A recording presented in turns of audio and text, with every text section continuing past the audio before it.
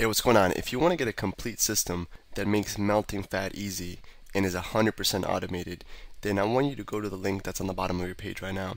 Um, YouTube doesn't let me make that link clickable, so you're gonna actually gonna have to type it into your browser. Or I also put a copy of the link in the description, so you can click on that or type it into your browser. All right. For now, enjoy the video, and after you're done with this video, make sure to go to that link to get a complete fat melting system.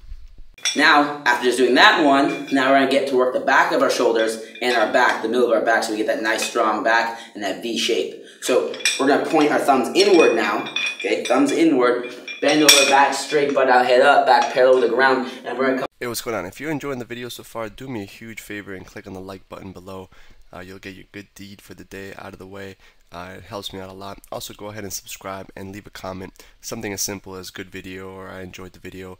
Uh, it really helps me out with YouTube. Alright, here's the rest of the video. Up and squeeze our back together. Here, squeeze our back together, okay? Come straight out, straight back. Straight out, straight back. So pull those elbows together and keep those arms pretty straight. And it's really, you're really gonna feel the middle of your back and the back of your shoulders. Hey, real quick, one more thing before you go.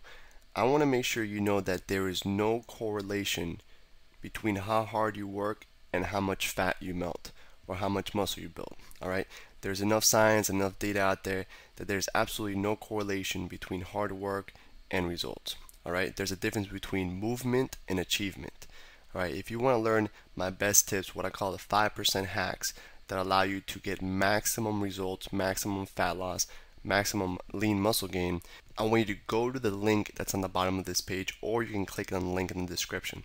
Alright, you're going to get a complete system for melting fat in an intelligent and streamlined system. I'll see you there.